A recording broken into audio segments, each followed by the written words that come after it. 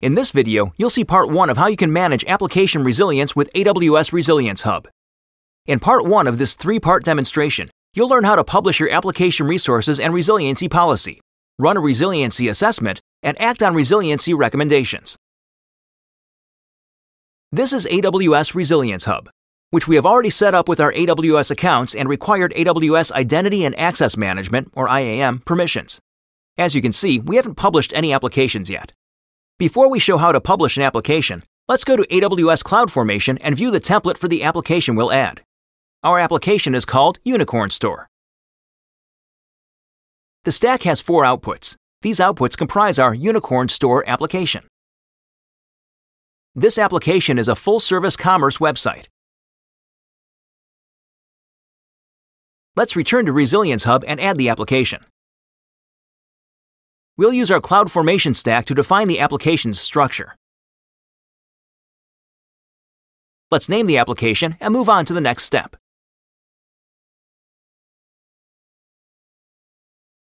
Our stack has imported, and now Resilience Hub is discovering its resources. We'll select all resources for inclusion and continue.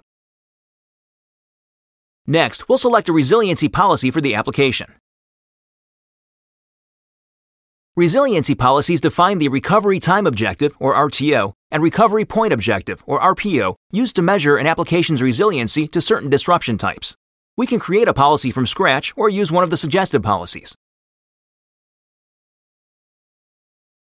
Suggested policies include tiers for foundational IT core services, mission critical, critical, important, and non critical applications. Let's go back. For the purposes of this demonstration, we have already prepared a mission critical policy for this application. The policy defines an RTO and RPO of 5 minutes for infrastructure and availability zone recovery. With the policy selected, let's move on. When we review our selections, we can see additional details of the resiliency policy. Let's publish the application. Now we can view our application within Resilience Hub. This page captures a summary review of the application's resiliency, as well as the resources being assessed. We can also see versions of the application resources and view reports for resiliency assessments. Let's run an assessment now. We'll retain the default name for the report. It takes a few moments for the assessment to complete. Our application has a compliance status of Policy Breached. Let's review the assessment. Some components achieved the RTO and RPO targets, but others exceeded policy targets or were unrecoverable.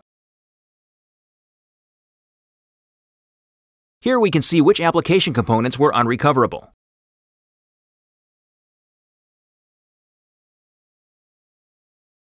Here we can see that RPO targets for infrastructure passed, but two RTO targets were missed by 25 minutes.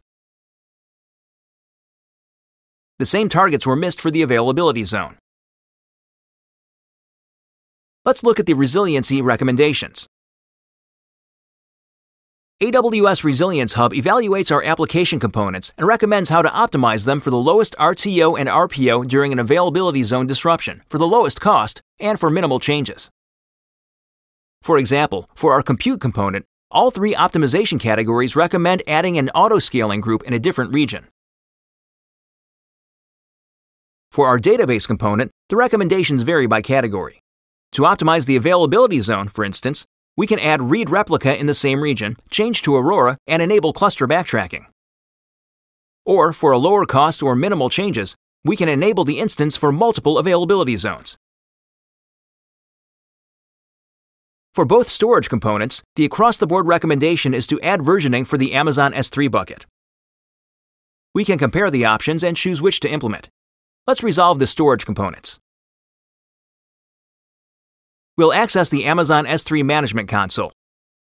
Let's select one of the buckets associated with our application and edit its properties to enable bucket versioning.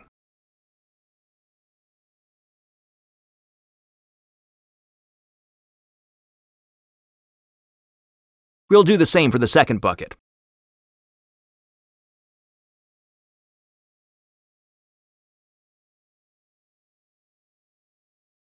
Now let's return to Resilience Hub. Another recommendation was to enable multiple availability zones for the database component. Let's implement this recommendation.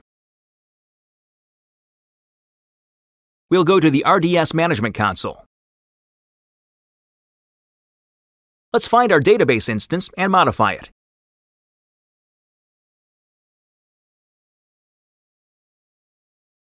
We'll create a standby instance. Let's continue. We'll apply this modification immediately and modify the DB instance. Now the database has been modified for multiple availability zones. Let's return to Resilience Hub and reassess our application.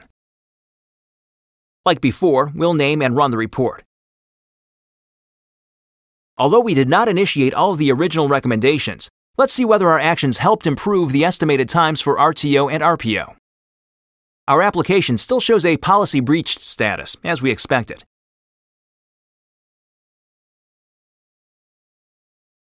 In the infrastructure category, the compute component, which we did not optimize, isn't meeting its target. However, the database and storage components for which we implemented recommendations show that targets have been met. The same is true for the availability zone targets. Let's review the resiliency recommendations. Only the compute component is still breached according to our resiliency policy. We can further optimize the database component, but we are in compliance. All other recommendations have been followed. Once we add an auto-scaling group in a different region, we'll be fully compliant with our resiliency policy. You've just seen part one of how you can manage application resilience with AWS Resilience Hub. You can learn more about this topic in the description and links for this video. Thanks for watching. Now it's your turn to try.